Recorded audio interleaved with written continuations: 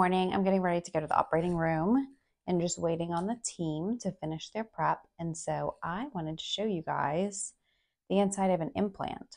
Have you ever seen the inside of a breast implant before? Probably not, unless you've been to a plastic surgeon and they cut one open in front of you, which is highly unlikely. But I have two implants here. The first thing I wanted to point out before I cut one of these open and just share with you is that these implants are almost exactly the same size in cc's. This one is 440 and this one is 450. They're made by the same manufacturer. They have the same shell.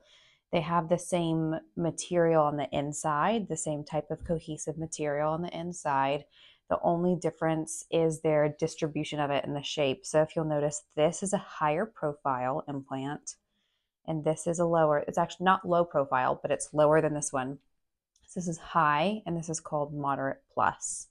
But I thought that was interesting just to show how different implants can be when they're nearly the same size. And then if I hold them up like this,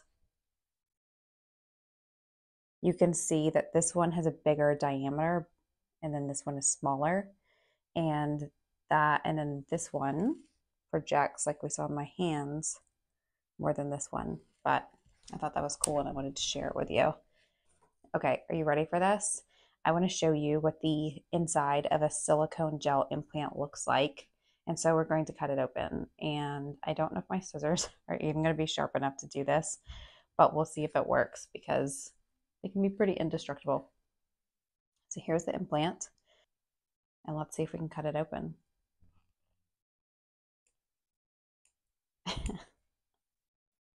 It's not easy. Oh, there we go. Okay, so this is what the inside of an implant looks like. Let's see if I can show you even closer. So see this gel? So when we talk about gummy bear, gummy bear is kind of an older term, still used by patients, but not so much by plastic surgeons necessarily. Talking about how like if you cut a gummy bear, it still keeps its form and its shape.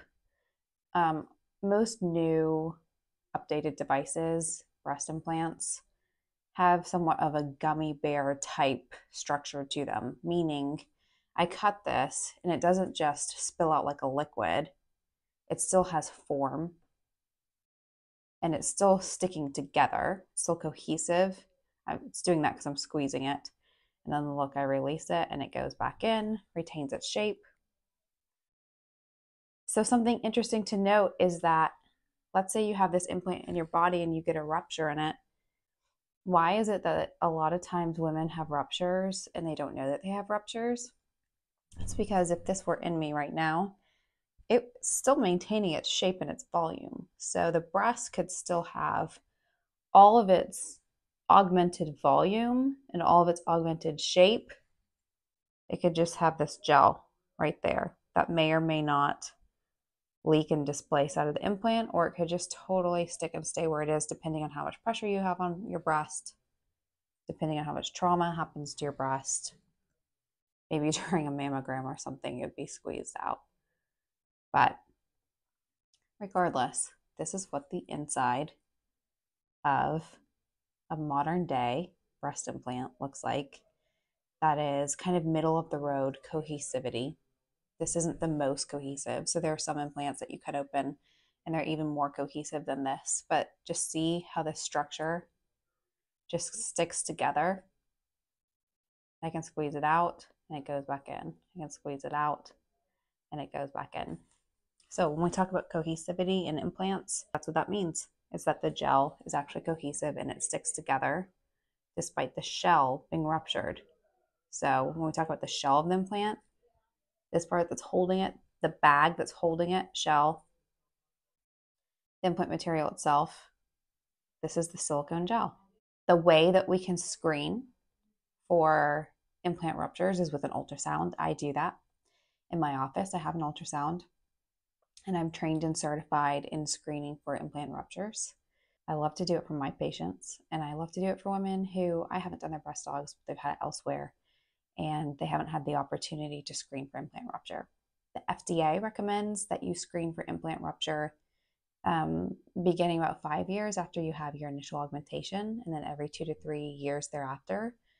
The choices between ultrasound and MRI, I think most people agree that ultrasound is favored initially. It's cheaper, it's more convenient, and you can also do an ultrasound just in office. It's so easy and it's so convenient. You could just pop in here on your lunch break and I could do it for you.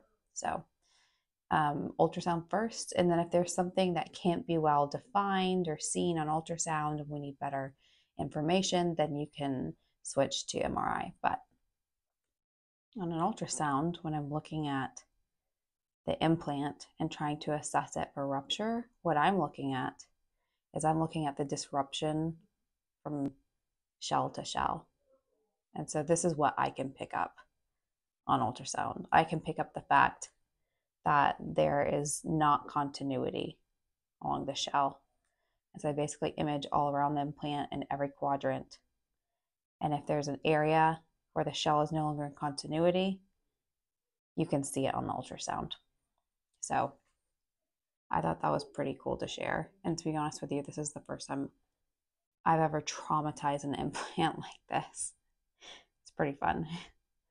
All right, y'all, I'm going to head to the OR. Have a very happy day.